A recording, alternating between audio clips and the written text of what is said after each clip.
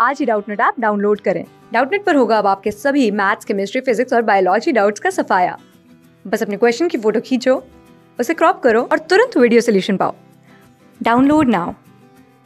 हाय, तुम्हारा क्वेश्चन है that among the following ये चार दिए हैं identify the derived quantity now ये डिराइव्ड क्वांटिटी क्या होती है राइट डिराइव्ड क्वांटिटी मतलब that is has been taken in, a, in some form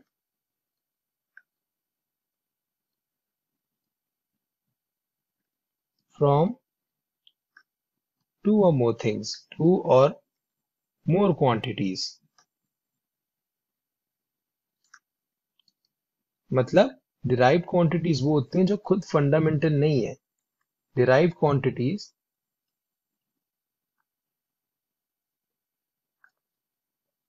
can break into fundamental quantities, break into further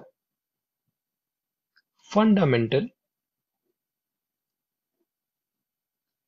quantities.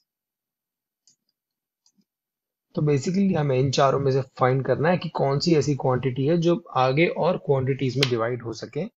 तो ऑप्शन टू देखते हैं temperature temperature तो एक नहीं टेम्परेचर तो हीट का फॉर्म है राइट टेम्परेचर को हम या तो डिग्री सेल्सियस बोलते हैं या केल्विन बोलते हैं या फ़ारेनहाइट बोलते हैं। पर ये किसी में डिवाइड होता है क्या? हम टेम्परेचर को टी लिखते हैं राइट हम इसको और किसी और में डिवाइड नहीं कर सकते ना? तो ये एक डिराइव क्वांटिटी नहीं है, ये फंडामेंटल क्वांटिटी है। तो ये इसका आंसर नहीं है। लेंथ लेंथ भी नहीं है। क्यों? क्योंकि length is what is a basically a characteristic of a matter, of a particle, right? Or of a body.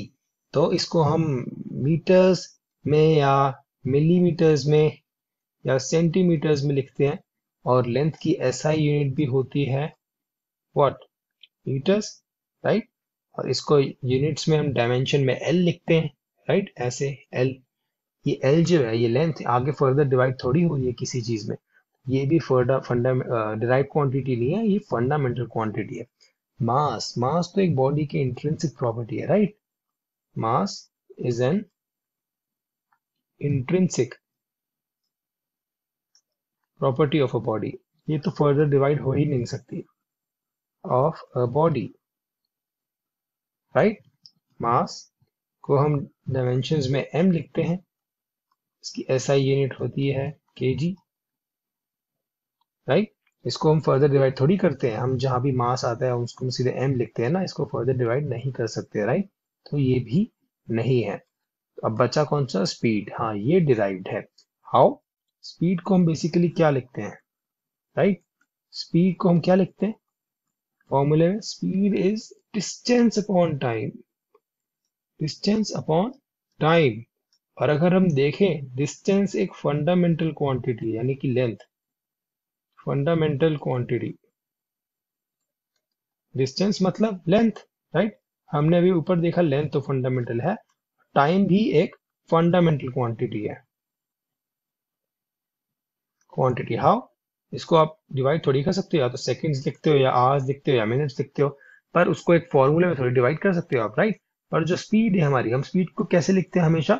Metres पर सेकंड में राइट स्पीड की कोई खुद की वो नहीं है, खुद को उसका डायमेंशन नहीं है राइट कोई सिंगल डायमेंशन नहीं है। स्पीड का डायमेंशन आता है हमारा एल बाई टी यानी कि ये रहा डिस्टेंस ये लेंथ का डायमेंशन और ये टाइम का डायमेंशन ये होता है स्पीड का डायमेंशन राइट तो आप देख सकते हो ये दो से बना हुआ है लेंथ और टाइम से, इसका खुद का कुछ नहीं है। इसकी एसआई यूनिट भी होती है मीटर्स पर सेकंड राइट कोई खुद की यूनिट नहीं है मीटर और सेकंड यानी लेंथ और टाइम जोड़ के स्पीड बनता है। That is why it is a derived quantity तो option one is correct class six से ट्वेल्थ से लेके NEET I I T JEE Mains और एडवांस के लेवल तक। दस मिलियन से ज़्यादा स्टूडेंट्स का भरोसा। आज ही डाउनलोड करें डाउट नेट आप या व्हाट्सअप कीजिए अपने डाउट्स आठ चार सौ चार सौ चार सौ पर।